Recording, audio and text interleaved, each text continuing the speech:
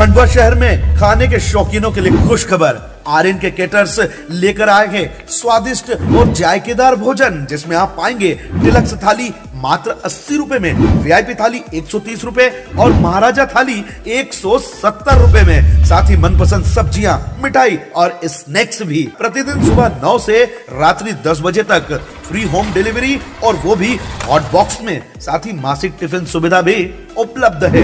हमारा phone number है nine six double four nine six zero five zero four. R N K caterers, Shubh Parisar, Jaswadi road, Khandwa.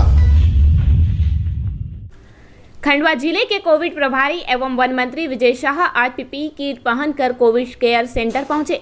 वहाँ उन्होंने संक्रमित मरीजों के स्वास्थ्य के बारे में हालचाल जाने और उन्हें हर संभव इलाज और सुविधाएँ उपलब्ध कराने का आश्वासन दिया। इससे पहले क्राइसिस मैनेजमेंट ग्रुप की बैठक में जिला प्रशासन द्वारा कोरोना रोकथाम के लिए किए जा रहे प्रयासों और मरीजों को दी जा रही स्वास्थ्य सुविधाओं की समीक्षा दी।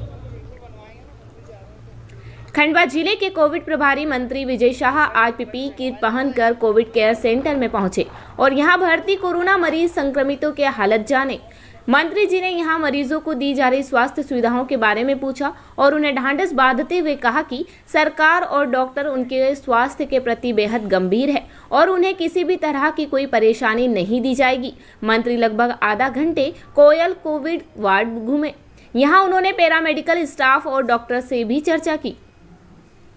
इससे पहले मंत्री विजय शाह ने क्राइसिस मैनेजमेंट समूह की बैठक में जिला प्रशासन के अधिकारियों और डॉक्टरों, अन्य विधायकों के साथ कोविड मरीजों को दी जाने वाली स्वास्थ्य सुविधाओं और सेवाओं के बारे में चर्चा की।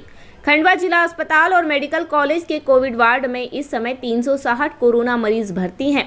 यहाँ खंडवा ज़िले के अलावा बुरहानपुर, खरगोन, बड़वानी, देवास और हरदा ज़िले के मरीज़ भी हैं।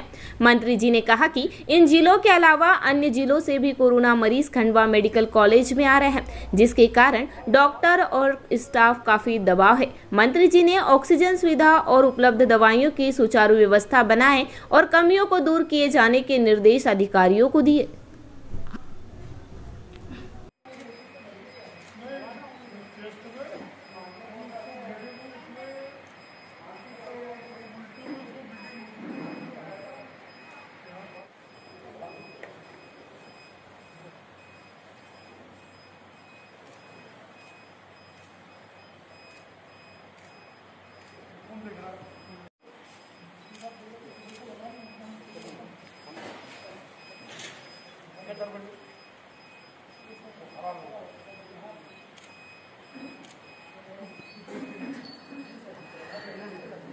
जो कोविड पेशेंट है, कोविड वार्ड में जो जीवन और मृत्यु से संघर्ष कर रहे, उनका हौसला किसी तरह कम ना हो।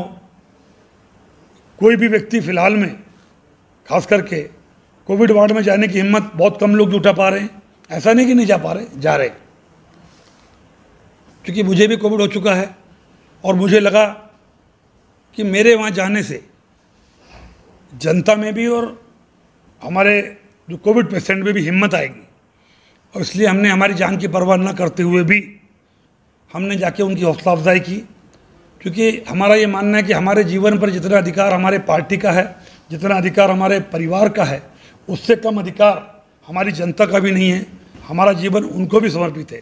अगर वो तकलीफ़ में हैं तो हम कैसे मुस्कुरा सकते हैं? और इसलिए वहाँ जाके उनको सांत्वना देना, उनको ढांढस बंधाना, और ऑक्सीजन की कमी नहीं होगी, वो पूरी तरह सुरक्षित हैं। और जो कमियों की बात आ रही थी, उनको भी नज़दीक जाके देखना। और जो हमारे कोरोना वॉरियर्स, जो वहाँ पर सेवक हैं, नर्स हैं, डॉक्टर हैं छः छः घंटा रोज़ पीपी किट में रहना अपने आप में तपस्या से कम नहीं है। उनकी हौसला अफजाई करना और उनको भी धन्यवाद देना, ये भी हमारे आज के कार्यक्रम में शामिल था। अगर दूसरे ज़िलों के मरीज़ यहाँ पर आते हैं, हमारे पास संसाधन है तो कोई तकलीफ़ नहीं, पर नहीं है तो हम पहले प्रायोरिटी हमारे पाँच जिलों को हम देंगे। हमारे मजदूर, हमारे जो मरीज़ हैं, उनके साथ हम लोग, मुझे ऐसा लगता है कि हम नाइंसाफ़ी कर रहे हैं। पर उसमें भी जो गंभीर होगा, उसको हम नहीं भगाएँगे, क्योंकि हमारी जवाबदारी पूरे मध्य प्रदेश को बचाना है।